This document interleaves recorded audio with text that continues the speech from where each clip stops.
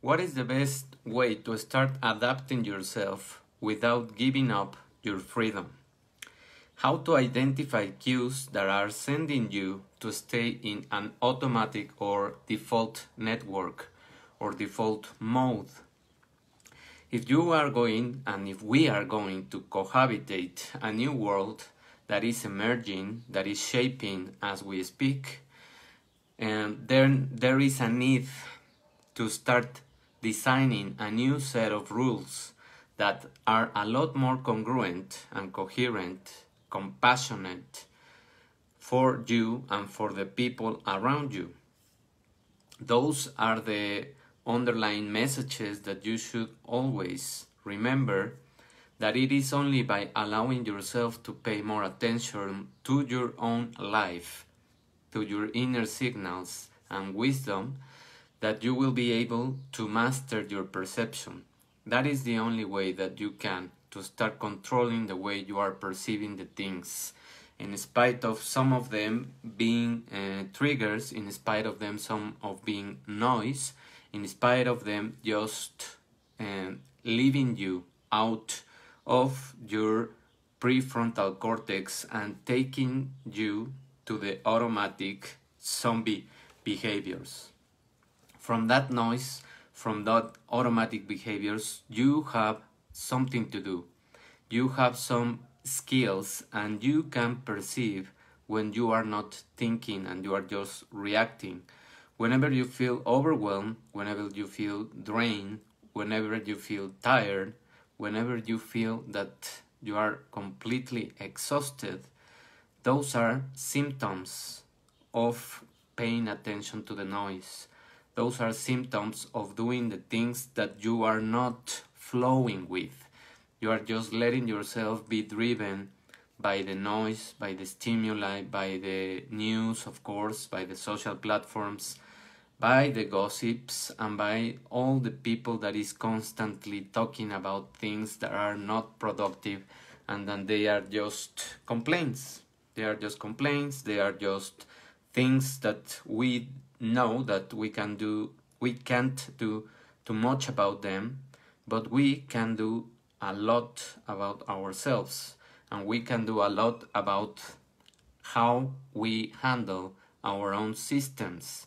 So in terms of regulating your emotions it is easy when you want to pay attention to what you are feeling. It is difficult when you want to be immersed in the ideas and the things that many people want you to believe.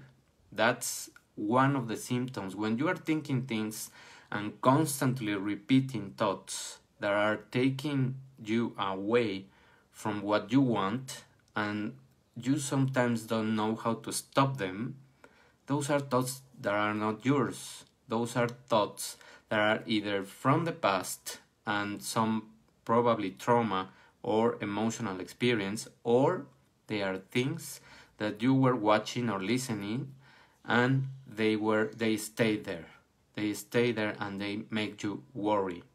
Worry is another symptom that you can identify as uh, not yours, as something that is about external things. And whenever you feel those things, what you can do is start breathing. Start closing your eyes if you can and start writing it down. Am I really in the present moment, in this right moment, experiencing something like that? This is the first rule. The second rule is asking Is it real what I'm thinking? Is it real what I'm uh, allowing myself to feel? Or is something that was a response towards anything. Can be a visual stimuli or can be something you read or can be something you listen to. So all of those questions that are very simple can take you out of the default network and allow you to think more in what you are doing in your present time. So by disrupting these cycles you are changing your inner chemistry and you are now turning the profile into neurotransmitters, hormones, and many other uh, chemical messengers that are going to help you to realize that you have the power of your own thoughts. Whatever is happening outside is not our business and we can stop it. And it, this is just the beginning of something that is going to come more and more. Remember that nowadays, these kind of platform, platforms, these kind of social um, media, these kind of things, digital things, are taking your attention through a dopamine cycle that you are constantly craving more and more and more. So this dopamine works like as if you were an addictive person, as if you were someone that cannot stay away from those things. Why? Because you are raising the threshold that you have for dopamine. So the more you raise that threshold, the more you are going to ask for more dopamine from these kind of platforms, from these kind of devices, notifications, and noise. The more you stay away from the notifications and you allow yourself to block time without devices or just not paying attention to them and using these tools that they have also so that they don't disturb you and you focus your mind in what you want to move forward, that's the easier way to stop craving for more. And it is just like being on a diet. It is discipline, it is willpower, of course, but both of them work in small pieces. So allow yourself to have one or two hours without touching the phone, without paying attention to the notifications. Just put it in silence or in do not disturb and let it out from your reach. And just try it and see what happens. In those moments, you are going to focus in something that you want to move forward, or you are going to just write, journal, relax, meditate, or be with your loved ones and have complete attention for them. From those two hours, you are going to increase the time until you reach probably, why not, eight or six hours. And you are just going to pick up your phone in the morning, probably, and not right when you wake up. After you have done your things in the morning, after you have programmed your day, and probably two hours before you go to sleep so that you also don't pick it up right before you are going to go to sleep.